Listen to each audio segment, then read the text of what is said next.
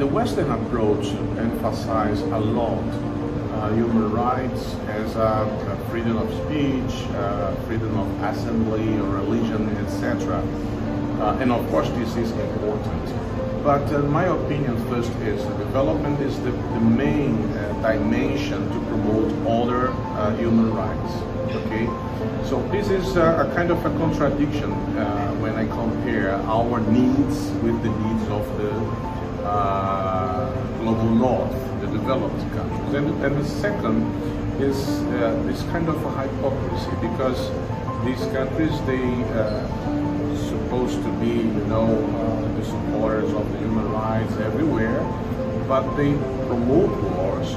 Sometimes, in the case of the United States, is against some resolution uh, in the uh, Security Council that is that is try, you know, to open the dialogue to finish the war between Russia and Ukraine, or they don't they don't do nothing uh, to stop the war or the, the, the aggression against the Palestine people, for example. So, and, and on the contrary, they use the human rights uh, to promote some intervention, uh, economic intervention, political intervention. And this is the contradiction.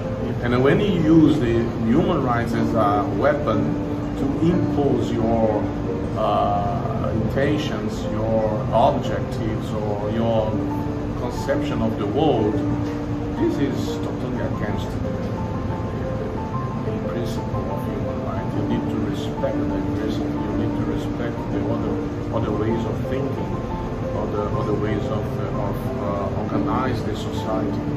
Uh, and I think this is uh, a kind of uh, you know one of the the huge hypocrisy we have to face, uh, be against this kind of uh, weaponizing human rights uh, to